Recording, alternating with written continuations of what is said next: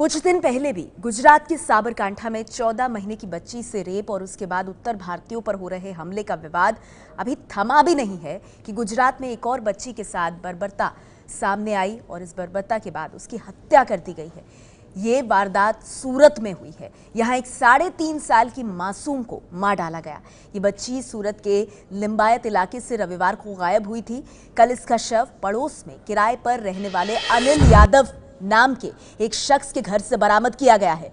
बच्ची मूल रूप से महाराष्ट्र की रहने वाली थी और जिस शख्स के घर से उसकी लाश मिली, वो बिहार के आरा का रहने वाला है। आरोप, आरोपी अनिल फरार है। पुलिस उसके मकान मालिक से पूछताछ कर रही है। साबरकांठा में जो हुआ और उसके बाद जिस तरह से उत्तर भारतीयों के साथ हिंसा की घटनाएँ हुई, उससे अभी गुजरात उबरा भी नहीं कि सूरत में साढ़े तीन साल की एक मासूम बच्ची के साथ बर्बरता करके उसे मौत के घाट उतार दिया गया। और आरोप लगा है पड़ोस के ही रहने वाले अनिल पर, जो कि बिहार के आरा का रहने वाला है, और फरार चल रहा है।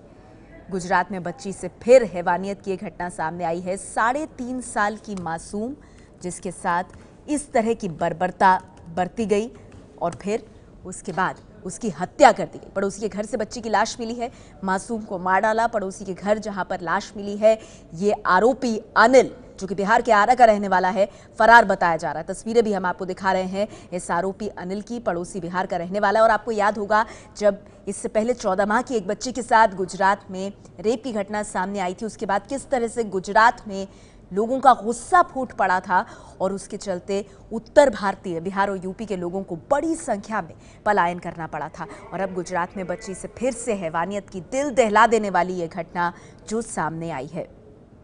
हम आपको बता दें, साढ़े तीन साल की इस मासूम की हत्या के बाद उसकी माँ का रो रो कर बुरा हाल है।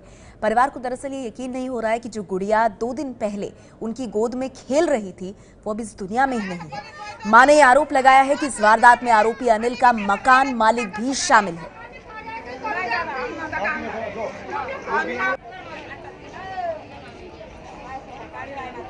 आठ बजे मेरी लड़की गुम हुई थी। आठ बजे मतलब मेरे पास आई थी आनंद लेके।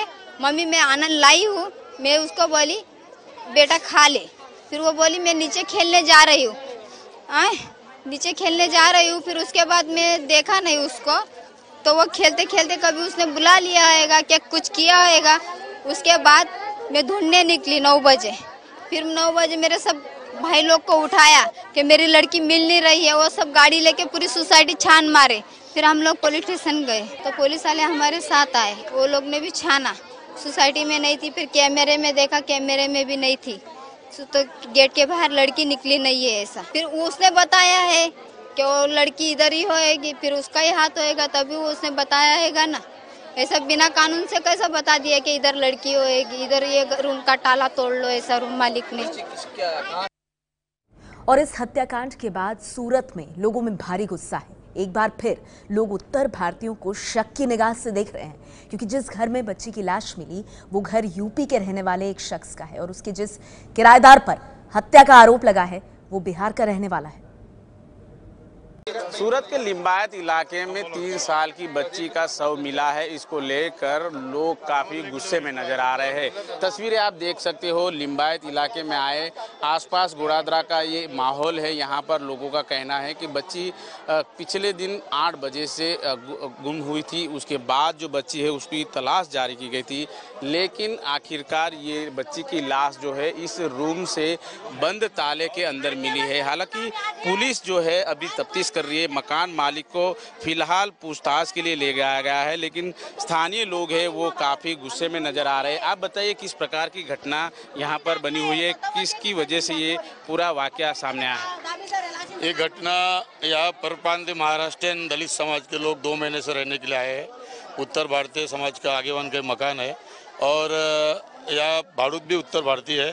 कल रात को आठ बजे लड़की कुछ लेने गई, विमल वगैरह, माँ को दिया। और उसके बाद लड़की गायब हो गई। उन्होंने इंतज़ार किया आजू बाजू मोहल्ले में ढूंढे मगर नहीं मिली। इसलिए दस साढ़े दस बजे लिम्बायत पुलिस स्टेशन में उन्होंने फरियाद दाखिल की और पुलिस यहाँ आने के बाद पूरा इलाका ढूंढा। आजू बाजू में पे किया। आज दिन भर भी ढूंढती रही। मगर मकान मालिक ने कहा कि भाई ये मकान का ताला बंद है और वो भाड़ूत भी दिखता नहीं है तो आप ये मकान को खोलो पहले। तो शाम को ये मकान खोला चार चार चार एक बजे ना? चार साढ़े चार बजे मकान खोला तब पता लड़की की लाश यहाँ पे मिली। हमारा ये कहना है कि रूपाणी सरकार दलितों के पिछड़ों के गरीबों की जान माल की सलामती के लिए निष्पड़ गई है। आ, आए दिन बहनों पे बलात्कार हो रहे हैं। सबका साथ सबका विकास बेटी बचाओ अभियान जो है ये निष्फल गया है। ये आरएसएस बीजेपी वाले आप बताइए बच्ची की हत्या हुई है या किस तरह की लाश मिली यहाँ पर? अभी तक जो प्राथमिक तपास पुलिस कर रही है उससे पता चल रहा है कि हत्या के साथ लड़की के साथ दुष्कर्म भी हुआ है। ऐसा सब या अफवाह चल रही है मगर पुलिस अभी तक चुप्पी साधी हुई है। मगर हमको पूरा यकीन और विश्वास है कि इस लड़की की लड़की पर बलात्कार करके उसकी हत्या की गई है। बिल्कुल आप आप बताइए किस तरह से बच्ची को ढूंढा गया था पहले? देखो नौ बजे बच्ची गायब होने की खबर चली। सब सोसाइटी वाले ढूँढने गए इधर ढूंढो उधर ढूंढो। तो ये रूम में भी एक लड़का रहता था। तो वो हम लोग बोले कि मकान का दरवाज़ा खोल। खोला वो अकेला बाहर आया था। दो जन अंदर गए देखा कि बच्ची नहीं दिखी थी। पता नहीं उसने कहाँ ढक के रखी थी। ये तो नहीं मालूम है। मगर सुबह पाँच बजे बोल रहे कि ताला लग गया था, था। सबको ऐसा लगा काम पे गया होगा। मगर पुलिस वाले ने सबका मकान चेक किया एक एक मकान चेक किया चेक करते करते आए तो फिर रूम मालिक भी बोला कि भाई ये लड़का नहीं दिख रहा है ये टाला तोड़ो चेक करो। तब जाके पुलिस वाले के हाथ बच्ची लगी। क्या लग रहा है आपको किस तरह से बच्ची के साथ क्या हुआ होगा? बच्ची के साथ तो बलात्कार ही हुआ होगा। बलात्कार हुआ होगा नहीं बलात्कार हुआ है और बच्ची को पन्नी में डाल के मार दिया है। और बाथरूम में डाला हुआ था। क्या चाहते हो? आरोपी को क्या सजा होनी आरोपी को फांसी होना चाहिए। मैं तो शांत दिमाग से बोल रही हूँ कोई उलझा हुआ दिमाग नहीं है मेरा। मैं शांत दिमाग से बोल रही हूँ अगर बेटी को बचाना हो तो ऐसा दुष्कर्म करने वाले को बच्चियों को मारने वाले को तुरंत मार डालो। बस। देख सकते हो आप लोग काफ़ी गुस्से में नज़र आ रहे हैं। लोगों की एक ही मांग है कि तुरंत आरोपी को पकड़ा जाए और जल्द से जल्द उसे सजा दी जाए। कैमरामैन राकेश पानवाला के साथ धनराज बागले एबीपी न्यूज़ सूरत। तो आप देख रहे हैं लोगों में कितना गुस्सा है और पास पड़ोस के लोग बच्ची के रेप का शक जता रहे हैं लेकिन पुलिस ने इस पर अब तक कुछ कहा नहीं है। पुलिस फॉरेंसिक रिपोर्ट आने का इंतज़ार कर रही है। तीन साल और छः मास की एक लड़की गुम हुई थी। गुना दाखिल होने के बाद आठ से नौ अलग अलग टीम बना के वो जो गुम लड़की है उसको ढूँढने की कार्यवाही की गई थी। सीसीटीवी कैमरा और वो सब चेक करने के बाद ये पता चला कि वो लड़की है, वो सोसाइटी में से बाहर निकली नहीं, ऐसा प्राइमरी दिख रहा है। तो उसके अनुसार जो सोसाइटी के मकान है, उसकी चेकिंग की गई थी और उसमें से एक मकान में से उसकी डेड बॉडी मिली है। प्राइमरी अभी एफएसएल के अधिकारी को बुला के चेकिंग की गई है और पीएम रिपोर्ट आने के बाद कॉज ऑफ़ फाइनल जो उसमें कोई है कि नहीं, वो मेडिकल वो आने रिपोर्ट आने के बाद ही पता चलेगा। अभी हत्या की कलम और एट्रोसिटी की कलम ऐड की गई है। प्राइमरी सस्पेक्ट है, उसके ऊपर अभी इन्वेस्टिगेशन चल रहा है। फाइनल होने के बाद ही पता चलेगा कि उसका इन्वॉल्वमेंट इसमें है क्या। तो मकान किसका है, वो तो मैं आपको बाद में बताऊँ, क्योंकि वो अभी उसका भी इंट्रोगेशन चल रहा है और इन्वेस्टिगेशन चल रहा है। लेकिन जो जो लड़की है, वो फ़र्स्ट फ्लोर पे रहती थी और डेड बॉडी मिली है, वो नीचे वाले जो मकान है, उसके एक कमरे में से मिली है। तो आप देख रहे हैं, पुलिस जो है वो फॉरेंसिक रिपोर्ट का इंतज़ार कर रही है। तो देखिए, एक तो बच्ची के साथ बहुत जघन्य अपराध हुआ, उसकी हत्या कर दी गई और दूसरी ओर एक बार फिर से इस पूरे प्रकरण में उत्तर भारतीय निशाने पर हैं। पूरे प्रकरण में एक बार फिर उत्तर भारतीय, इसीलिए क्योंकि इससे पहले आपको याद होगा, साबरकांठा में चौदह महीने की बच्ची के साथ जिस तरह से बलात्कार की घटना सामने आई थी, उसके बाद उत्तर भारतीयों का मास एक्सोडस बड़े पैमाने पर पलायन हुआ था। अट्ठाईस सितंबर को यह घटना हुई थी, पीड़िता बच्ची गुजरात में ओबीसी ठाकुर समुदाय की थी। आरोपी रविंद्र साहू बिहार का और गुजरात की फैक्ट्री में वो मजदूर था। रेप कांड के बाद यूपी, बिहार के मजदूरों पर हमले होने लगे। अब भगवान न करे कि जो कुछ साबरकांठा में हुआ, सूरत में जो तस्वीर सामने आई है, वो साबरकांठा की कहानी को दोहराए, क्योंकि उस वक्त गुजरात की जो हालत थी, वो वाकई में चिंताजनक हो गई थी। हम सीधे रुक करना चाहेंगे इस खबर पर। लगातार हमारे संवाददाता धनराज बागले बने हुए हैं। उनकी रिपोर्ट्स भी आपने देखी। धनराज, मैं आपसे जानना चाहूँगी, दो बड़ी बातें हैं। एक तो गुजरात बच्चियों के लिए कितना सुरक्षित है? साबरकांठा के बाद हम देख रहे हैं, सूरत में भी एक मासूम छोटी बच्ची की हत्या की वारदात सामने आई है।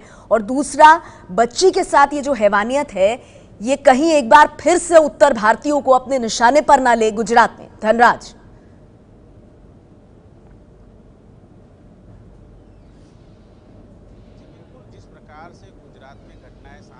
खास कर कर सूरत की अगर बात की जाए तो पिछले 27 दिनों में सात मासूम बच्चियों को हत्या करके उसके साथ बलात्कार किया गया। हालाँकि आग, जो पिछले दिन में जो हत्या हुई थी, एक बंद रूम में बच्ची की लाश मिली हुई थी।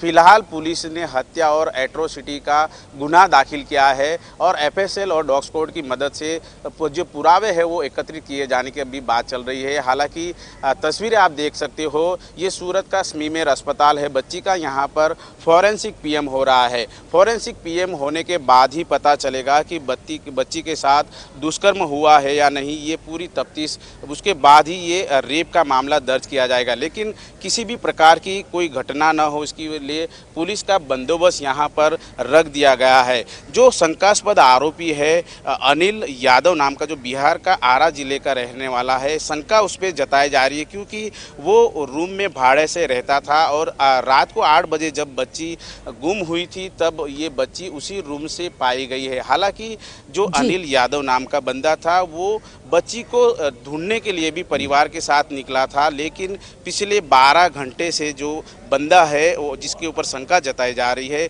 वो फ़िलहाल यहाँ से गायब है।